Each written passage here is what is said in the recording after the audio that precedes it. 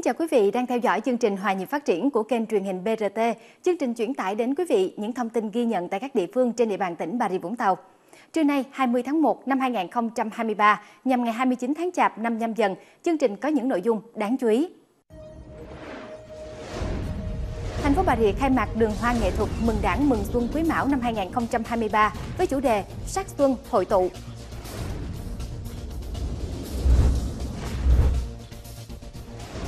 lãnh đạo thành phố Vũng Tàu tổ chức các đoàn đến thăm chúc Tết các cơ quan, đơn vị trực Tết trên địa bàn.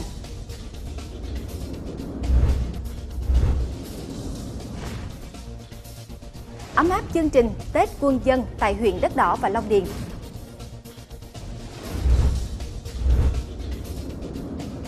Mô hình trồng hoa Tết đạt hiệu quả kinh tế cao tại xã Nghĩa Thành, huyện Châu Đức.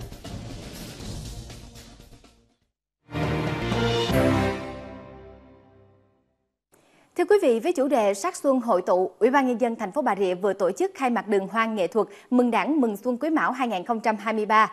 Đường hoa năm nay được thiết kế trên khuôn viên và hai bên giải phân cách đường Phạm Văn Đồng có chiều dài khoảng hơn 400 m, nối với quảng trường Bà Rịa và công viên Bà Rịa, tạo nên điểm nhấn cảnh quan của thành phố. Đường hoa nghệ thuật Mừng Đảng Mừng Xuân Quý Mão năm 2023 tại thành phố Bà Rịa có hơn 20 đại cảnh, tiểu cảnh, với khoảng 30.000 chậu hoa các loại. Tổng thể quan cảnh đường hoa năm nay mang tính trẻ trung năng động với mong muốn thành phố Bà Rịa có sự phát triển mới trong tương lai. Điểm nhấn năm nay, ngay đầu đường hoa là sân khấu nốt nhạc xuân, tạo sân chơi giao lưu văn hóa nghệ thuật cho người dân, đặc biệt là giới trẻ. Xung quanh là gia đình mèo, biểu tượng của năm quay quần trên đài hoa với nhiều thỏi vàng, thể hiện sự ấm no sung túc. Đường Hoa Bà Rịa mở cửa cho người dân tham quan chụp ảnh từ nay đến hết mùng 6 Tết Quý Mão. Kỷ niệm 93 năm ngày thành lập Đảng Cộng sản Việt Nam và mừng Xuân Quý Mão 2023, Đảng ủy, Hội đồng Nhân dân, Ủy ban Nhân dân, Ủy ban Mặt trận Tổ quốc Việt Nam phường Phước Trung, thành phố Bà Rịa tổ chức chương trình văn nghệ với chủ đề Xuân yêu thương. Trong khuôn khổ chương trình, Ủy ban Nhân dân thành phố Bà Rịa tặng 30 suất học bổng, mỗi suất 1 triệu đồng tiền mặt cho các em học sinh. Phường Phước Trung trao 151 suất quà Tết cho các em học sinh, người dân có hoàn cảnh khó khăn, với tổng số tiền gần 150 triệu đồng do các đơn vị doanh nghiệp và mạnh thường quân hỗ trợ. Chuyển sang ghi nhận tại thành phố Vũng Tàu, Thưa quý vị, nhân dịp Tết cổ truyền, Thành ủy, Hội đồng Nhân dân, Ủy ban Nhân dân, Ủy ban Mặt trận Tổ quốc Việt Nam thành phố Vũng Tàu tổ chức các đoàn đến thăm chúc Tết các cơ quan, đơn vị trực Tết trên địa bàn thành phố. Lãnh đạo thành phố Vũng Tàu đã đến thăm tặng quà chúc Tết cán bộ nhân viên công an thành phố Vũng Tàu và công an 17 xã phường, trung tâm y tế thành phố Vũng Tàu và trung tâm y tế 17 phường xã. Tại các nơi đến thăm, ông Trần Đình Khoa, Bí thư Thành ủy Vũng Tàu, biểu dương sự nỗ lực của cán bộ, nhân viên, các cơ quan đơn vị và khẳng định sự bình yên phát triển của thành phố có sự đóng góp không nhỏ của lực lượng công an, y tế. Bí thư Thành ủy Vũng Tàu chúc cán bộ công chức viên chức, nhân viên các cơ quan đơn vị đón năm mới an khang thịnh vượng, Đồng thời, đề nghị các đơn vị luôn nỗ lực phấn đấu hoàn thành xuất sắc nhiệm vụ trong năm 2023.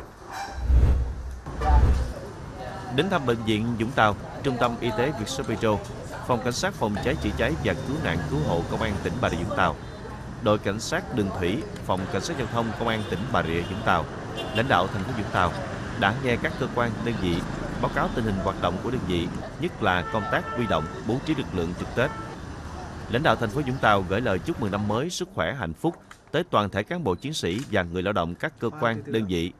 Đồng thời, động viên các lực lượng tiếp tục hoàn thành nhiệm vụ bảo đảm sức khỏe, bình an cho người dân, bảo đảm an ninh trật tự trên địa bàn thành phố trong những ngày Tết. Tiếp đoàn lãnh đạo thành phố Vũng Tàu đến thăm chúc Tết, đại diện Ban Chỉ huy quân sự thành phố Vũng Tàu, Công ty cổ phần phát triển công viên cây xanh và đô thị, Công ty cổ phần dịch vụ môi trường và công trình đô thị Vũng Tàu đội cảnh sát cơ động công an tỉnh đã báo cáo tình hình thực hiện nhiệm vụ cũng như công tác chăm lo đời sống vật chất tinh thần cho cán bộ công chức viên chức, chiến sĩ, người lao động. Công tác trực sẵn sàng chiến đấu, bảo đảm an ninh trật tự trong dịp Tết Nguyên đán Quý Mão 2023. Nhân dịp xuân mới, lãnh đạo thành phố Vũng Tàu chúc cán bộ, nhân viên các đơn vị đón một mùa xuân mới an khang thịnh vượng, luôn trong tâm thế sẵn sàng trực chiến trong những ngày Tết để đảm bảo vệ sinh môi trường, giữ bình yên cuộc sống cho nhân dân. Thưa quý vị, Tết đến dù hoàn cảnh nào thì mỗi người, mỗi gia đình đều sắm sửa tươm tất hơn ngày thường. Bởi quan niệm của người Việt là tươm tất đầu năm thì sẽ may mắn đủ đầy cả năm. Chờ Tết vì vậy luôn đông vui. Thành phố Vũng Tàu có 13 chợ truyền thống phân bố ở 16 xã phường trên địa bàn. Thông thường các chợ chỉ họp vào buổi sáng, nhưng mà vào dịp Tết thì nhiều chợ họp cả ngày. Chợ Tết không chỉ là nơi mua bán mà còn là nơi để gặp gỡ, chia sẻ và những cảm xúc, những hoài niệm có lẽ chỉ ùa về vào dịp Tết. Chợ Rạch Dừa thành phố Vũng Tàu có hơn 600 tiểu thương.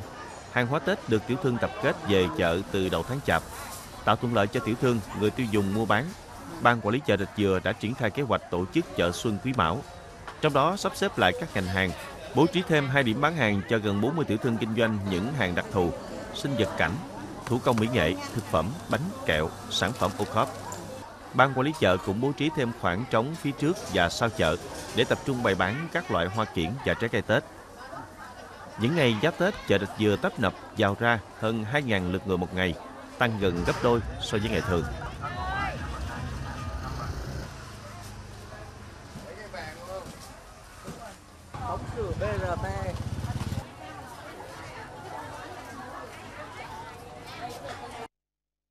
thấy sức mua là tăng hơn là mọi ngày thì hy vọng là ba ngày giáp Tết sức mua nó sẽ tăng nhiều hơn thì bán lý chợ cũng tạo được mọi điều kiện cho bà con tiểu thương là buôn bán mấy ngày Tết là vui tươi ờ, và ờ, đảm bảo cái công tác ờ, an ninh trật tự phòng chống cháy nổ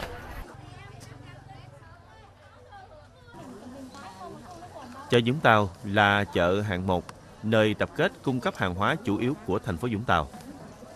Từ 25 tháng Chạp âm lịch cho đến chiều 30 Tết, chợ hoạt động xuyên đêm. Ban quản lý chợ đã sắp xếp trang hoàng lại không gian chợ, sắp xếp từng khu vực kinh doanh theo chủng loại hàng Tết có sức mua cao nhất. Bên cạnh số tiểu thương cố định, ban quản lý chợ còn bố trí khu vực riêng với hơn 60 gian hàng cho các thương lái, nhà vườn tập kết hàng ô khóp và đặc sản của huyện Châu Đức Long Điền, đất đỏ. Nhiều loại hàng Tết đặc thù cũng tập trung mua bán ở đây như trầu cao, măng khô, bánh mứt, gạo nếp, lá dòng. Khu vực trống phía trước và sau chợ, ban quản lý dành cho các loại hoa, cây cảnh, trái cây đưa về từ các vùng miền địa phương ngoài tỉnh. Ban quản lý chợ cũng tạo điều kiện thuận lợi để cho bà con tiểu thương cũng như khách hàng đi chợ rồi trang trí chợ rất là, là bắt mắt để thu hút khách hàng đến chợ rất à, ban quản lý chợ cũng rất mong muốn là à, người dân đến vui xuân Ờ, sắm Tết ở chợ và tạo điều kiện mua sắm để kích cầu cái việc ờ, tiêu thụ hàng hóa nông sản thực phẩm cũng như các cái hàng hóa khác để ờ, cho nền kinh tế được phát triển hơn. Dù không sôi động đông đúc như các chợ khu vực trung tâm thành phố, Chợ xã Long Sơn, thành phố Vũng Tàu cũng tràn ngập hàng Tết và khu vực tập trung lượng hàng nhiều nhất, thu hút người mua, người bán đông nhất là khu hoa tươi, cây cảnh, vật dụng trang trí Tết, bánh mứt, đặc sản Tết. Trong chợ cũng có khu vực bày bán sản vật các địa phương trong tỉnh.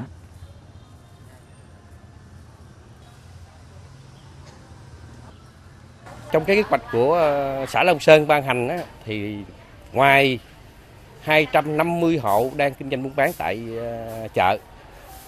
Tổ chức thêm cho 40 hộ buôn bán các mặt hàng à, truyền thống của địa phương giống như là cây cảnh hoa, trái cây, những mặt hàng để trưng Tết, rồi những mặt hàng ờ, khô các loại, các loại là đặc sản của địa phương Long Sơn để nhằm tạo điều kiện cho bà con mua sắm Tết trong dịp Tết ờ, đón xuân quý mão. Theo ghi nhận, thị trường Tết năm nay hàng hóa tại các chợ trên địa bàn thành phố Vũng Tàu phong phú đa dạng, giá cả ổn định như ngày thường.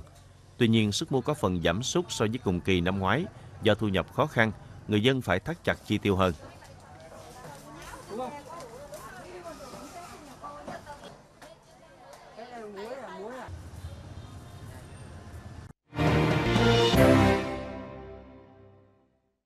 Ban Chỉ huy quân sự huyện Đất Đỏ phối hợp với tiểu đoàn tên lửa 59 và Ủy ban Nhân dân xã Phước Long Thọ tổ chức chương trình Tết Quân dân đón Xuân Quý Mão 2023. Tại chương trình Tết Quân dân, các cán bộ chiến sĩ Ban Chỉ huy quân sự huyện Đất Đỏ, tiểu đoàn tên lửa 59, lãnh đạo Ủy ban Nhân dân xã Phước Long Thọ đã tham gia các hoạt động giao lưu văn nghệ, thi gói bánh chưng, bánh tét, tổ chức thi đấu thể dục thể thao, trao quà Tết cho hộ nghèo, đây là hoạt động được Ban Chỉ huy quân sự huyện đất đỏ tổ chức hàng năm nhằm hỗ trợ các hộ nghèo, gia đình chính sách đón Tết Nguyên đán vui tươi đầm ấm. Đồng thời, góp phần cổ vũ động viên cán bộ chiến sĩ lực lượng vũ trang hoàn thành tốt nhiệm vụ được giao. Ban Chỉ huy quân sự huyện đất đỏ đã trao 50 suất quà cho các đối tượng là hộ nghèo, gia đình chính sách, lực lượng dân quân tự vệ có hoàn cảnh khó khăn trên địa bàn. Mỗi suất quà trị giá 500.000 đồng do Ban Chỉ huy quân sự huyện vận động chùa Hưng Hòa, thị trấn Đức Đỏ hỗ trợ. Ban Chỉ huy quân sự huyện Long Điền phối hợp với Phòng Hậu Cần, Bộ Chỉ huy quân sự tỉnh tổ chức hội thi gói bánh chưng bánh tét Xuân Quý Mão năm 2023. Gần 20 cán bộ chiến sĩ Ban Chỉ huy quân sự huyện Long Điền và hội viên phụ nữ huyện đã tham gia gói 15 chiếc bánh chưng, 15 chiếc bánh tét. Đây là hoạt động nhằm tuyên truyền giáo dục cho cán bộ chiến sĩ lực lượng vũ trang về nét đẹp truyền thống văn hóa Tết cổ truyền của dân tộc, cũng như góp phần nâng cao đời sống văn hóa tinh thần, xây dựng nếp sống văn minh lành mạnh cho cán bộ chiến sĩ trong lực lượng vũ trang. Nhân dịp Tết Quý Mão, đoàn công tác của Ban Quản lý Vườn Quốc gia Côn Đảo đã vượt sóng vượt gió ra thăm hỏi và mang quà Tết cho các cán bộ nhân viên các trạm kiểm lâm và chốt trực yến đang làm nhiệm vụ tại các hòn nhỏ. Đây là hoạt động nghĩa tình, thể hiện sự quan tâm của đảng ủy, ban giám đốc và các đoàn thể vườn quốc gia đối với những người lính kiểm lâm đang ngày đêm canh giữ biển rừng Côn Đảo. Vườn quốc gia Côn Đảo thuộc hệ thống rừng đặc dụng có tổng diện tích tự nhiên gần 20.000 hecta, trong đó phần diện tích bảo tồn rừng trên các hòn đảo khoảng gần 6.000 hecta và phần bảo tồn biển là 14.000 hecta. Nhằm gìn giữ bảo vệ hệ thống rừng này, vườn quốc gia bố trí 10 trạm kiểm lâm ở đảo trung tâm và các đảo nhỏ. Nằm trên những vách núi treo leo hay những khu rừng rậm giữa biển cả bao la, mỗi hòn có từ 2 đến 3 cán bộ kiểm lâm, ngày đêm túc trực bảo vệ biển rừng. Và nhiệm vụ này ngày càng căng thẳng hơn vào dịp Tết, cao điểm trực phòng cháy chữa cháy rừng mùa khô. Thế nên tất cả phải các niềm vui đoàn viên sum họp ngày Tết để bám trạm, bám đảo, bám rừng. Thấu hiểu nỗi chắc giả thầm lặng đó, những món quà Tết, hàng hóa nhu yếu phẩm tiếp tế được chuẩn bị chu đáo, mang đầy đủ hương vị Tết cổ truyền đến với những người lính bảo vệ rừng. Trong thời gian Tết Nguyên đán, công việc nghề nghiệp gắn bó, nên ờ, có thể mình cũng gia đình, người thân cũng chia sẻ à, lực lượng kiểm lâm và làm việc để bảo đảm được cái bảo vệ được tài nguyên thiên nhiên, đa dạng sinh học và phòng cháy chữa cháy rừng theo với chức năng nhiệm vụ được phân công. Thì à, nói tóm này là ở đời thì giờ ai cũng không muốn xung họp gia đình phải không? Nhưng mà nhiều lúc có công việc đặc thù bản thân tôi cũng về đồng nghiệp đấy như vậy xác định tư tưởng về vững vàng. Đấy, bảo đảm được cái công việc con số để hoàn thành được cái công việc mà đơn vị cơ quan này giao cho.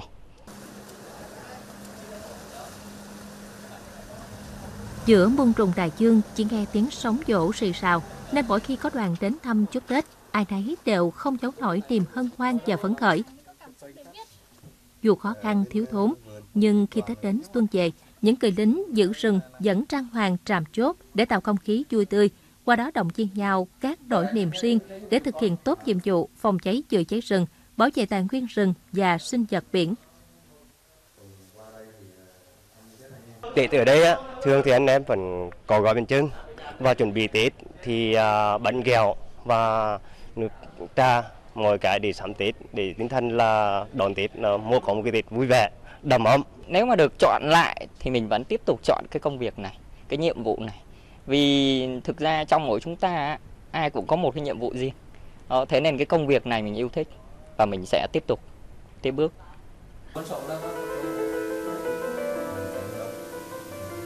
Tiễn đoàn chúc Tết về lại đảo đớn, những cái tay của những người lính giữ rừng dãy mãi cho đến khi không còn nhìn thấy bóng dáng nhau.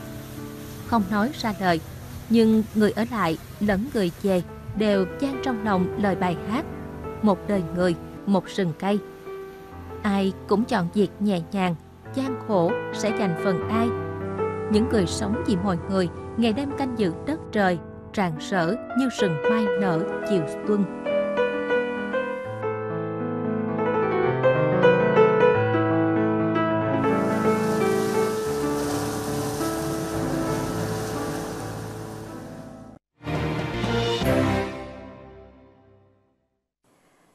Vị, theo lẽ thường, những ngày cận Tết, nhu cầu tiêu thụ rau xanh tăng mạnh sẽ đẩy giá tăng cao.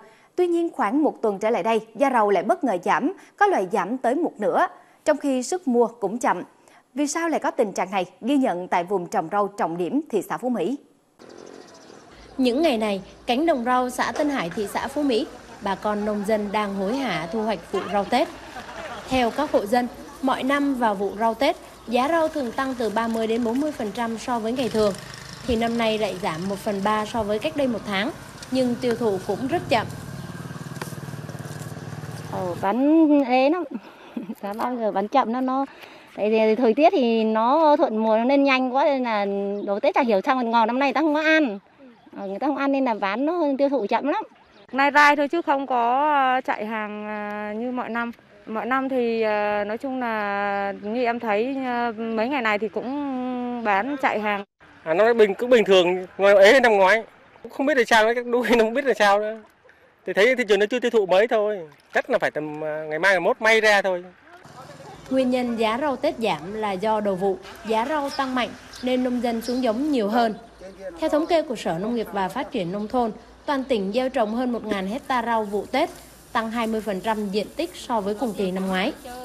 Diện tích tăng, thời tiết thuận lợi nên nguồn cung rau nội tỉnh khá dồi dào, khoảng 1.500 tấn rau các loại. Thêm nữa, nguồn rau xanh từ các tỉnh thành lân cận, kể cả Trung Quốc nhập vào tỉnh cũng tăng, nên khiến cho cung vượt cầu. Và điều này đã kéo giá rau củ hạ nhiệt.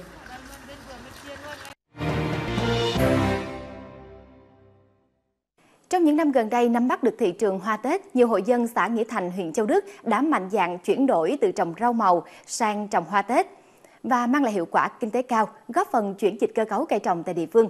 Trong không khí của những ngày giáp Tết, mời quý vị đến với xã Nghĩa Thành để cùng chiêm ngưỡng những vườn hoa lung linh, rực rỡ sắc màu. Dịch bệnh COVID-19 được kiểm soát, kinh tế khởi sắc, nên dù qua Tết năm nay, gia đình anh Trần Nguyên Hiến ở xã Nghĩa Thành, huyện Châu Đức đầu tư khoảng 8.000 chậu hoa các loại, tăng hơn 40% so với năm ngoái.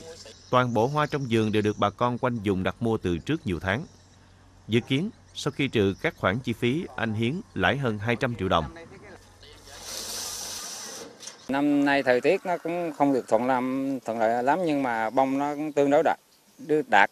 À, cái cái lượng mà thương lái đặt mua thì nó không có hàng để thương lái mua cháy hàng. Khi mình trồng là nó nó, nó phát triển từng ngày á là mình thấy cái chồi nó lên hay hoặc cái hoa nó ra là mình rất là thích. Gia đình chị Trần Thị Cuối ở thôn Sông Cầu trồng hơn 10.000 chậu hoa các loại phục vụ Tết. Cần mẫn chăm sóc, toàn bộ hoa trong vườn đều phát triển tốt, đơm hoa, đua sắc đúng dịp Tết. Do đó, Tết năm nay gia đình chị Cuối có thêm thu nhập hơn 250 triệu đồng. Năm nay những cái cái hoa này thì nành lái thì nó đặt hết rồi. Còn trồng được thế này thì trồng thôi chứ còn bây giờ làm cái nghề gì cũng thế rồi cái nghề này thì mình thấy nó hợp với mình thì đánh giá về cái tình hình chung, về cái tình hình hoa Tết của năm 2023 được một cái là được mùa. Bà con trồng đến đâu là hết đến đó. Ờ, ờ, thương lái người ta đến hạn ờ, đến tại vườn. Giống như mới thời điểm này mà một số vườn là đã thu thương lái mua, muốn hết trăm phần trăm. Mô hình trồng hoa này thì cũng giúp được cho bà con về cái, cái kinh tế cũng rất là nhiều thì đây là một cái nguồn thu mà phải nói là cũng một cái nằm trong cái sự mong đợi của bà con trên địa bàn xã Nghĩa Thành. Hiện trên địa bàn xã Nghĩa Thành có khoảng 20 hộ trồng hoa với tổng diện tích gần 10 hecta. Mạnh dạng chuyển đổi diện tích cây trồng kém hiệu quả sang trồng hoa, đưa các giống hoa mới có giá trị cao vào sản xuất là hướng đi bền vững ở xã Nghĩa Thành, là mô hình chuyển dịch cơ cấu cây trồng hiệu quả cần nhân rộng tại huyện Châu Đức. Thưa quý vị, năm nay kinh tế xã hội phục hồi khởi sắc hơn sau 2 năm dịch bệnh, nên việc chỉnh trang đô thị tạo không khí tươi mới phấn khởi trong nhân dân được các địa phương trong tỉnh quan tâm chú trọng. Tại huyện Châu Đức, những khâu chuẩn bị cuối cùng đã gần như hoàn tất. Vùng quê Châu Đức như đang khoác lên mình bộ áo xuân rực rỡ, với kỳ vọng năm mới 2023 sẽ đạt được nhiều thành công mới, thắng lợi mới. Để tạo không khí vui tươi trong xuân mới Quý Mão 2023, Ủy ban nhân dân huyện Châu Đức đã triển khai công tác chỉnh trang đô thị từ rất sớm với tổng kinh phí gần 15 tỷ đồng, tập trung vào việc sửa chữa nâng cấp đầu tư hệ thống đèn chiếu sáng công cộng, đèn trang trí, đèn màu, đèn nháy tại các tuyến đường trung tâm, khu vực công cộng, đông dân cư. Hệ thống cây xanh đô thị cũng được cắt tỉa gọn gàng tươm tất. Khuôn viên các cơ quan nhà nước, những khu vực công cộng, các vòng xoay, tuyến đường trung tâm thị trấn Hải Giao được chăm chút hơn với hàng ngàn chậu hoa, cây cảnh, các loại được bố trí sắp đặt theo chủ đề, càng tô điểm thêm sắc xuân cho Châu Đức. Năm nào ở Châu Đức mình cũng trang trí rất là đẹp, rất là hoành tráng ha. Mỗi năm thì à, có mỗi cái trang trí khác nhau. Thì theo như cảm nhận của em thì Em là một người thích à, đi sống ảo chụp hình thì em thấy như vậy là rất là ok rồi ha. Trang trí đẹp. Quốc lộ 56 đoạn đi qua huyện Châu Đức đang trở nên đẹp hơn bởi hàng mai vàng gần 1.000 cây được chăm sóc cẩn thận để bung nụ nở hoa đúng vào thời điểm đón năm mới. Đây là điểm nhấn không thể bỏ qua của mỗi người khi có dịp ghé thăm Châu Đức vào dịp Tết đến xuân về. Châu Đức này nhất là cái đường mà hoa mai thì nó, nó thấy nó đẹp, nó chỉnh chu. Nói chung là cảnh trí ở đây thì được à, à, trang hoàng nói chung là đẹp. Năm nào cũng có đường hoa. Trên các tuyến đường chính của huyện Châu Đức, công tác chỉnh trang đô thị đang hết sức khẩn trương cả ngày lẫn đêm để đảm bảo đường phố xanh sạch đẹp, tạo tinh thần phấn khởi cho nhân dân vui xuân đón Tết. Nhằm tạo không khí vui tươi phấn khởi cho người dân à, đón Tết cổ truyền của dân tộc, huyện đã tổ chức các cái điểm nhấn à, để phục vụ cho nhân dân à, vui xuân đón Tết. Tổ chức cái khuôn viên hoa với diện tích khoảng 3.000 m2 để phục vụ cho người dân thưởng ngoạn cũng như là tạo không khí vui tươi phấn khởi cho người dân đón Tết với tinh thần lạc quan tin tưởng vào sự đi lên của huyện Châu Đức trong tương lai. Chương trình Hòa nhịp phát triển của Đài Phát thanh và Truyền hình tỉnh Bà Rịa Vũng Tàu đến đây xin được khép lại. Cảm ơn sự quan tâm theo dõi của quý vị. Chúc quý vị có những ngày nghỉ lễ thật vui vẻ, hạnh phúc. Hẹn gặp lại quý vị trong những chương trình bản tin thời sự tiếp theo.